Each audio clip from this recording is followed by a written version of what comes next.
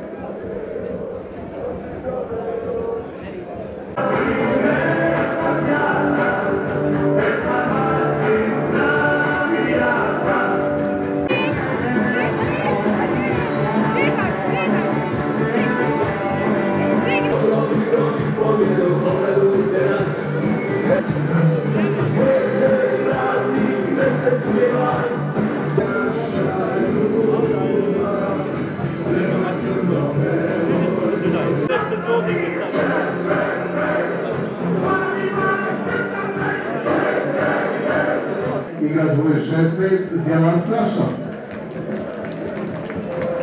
Druga izmjena u ekipi Partizana.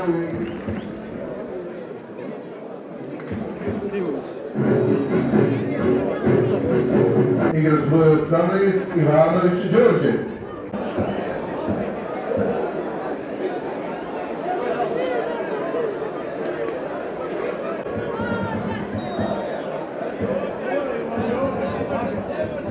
Ayrıca bu il premio müdürlüğü Rızi Kapit'in Yedoli il İbrahim'e Kapit'in di Yardımcı Rızi il Sassa!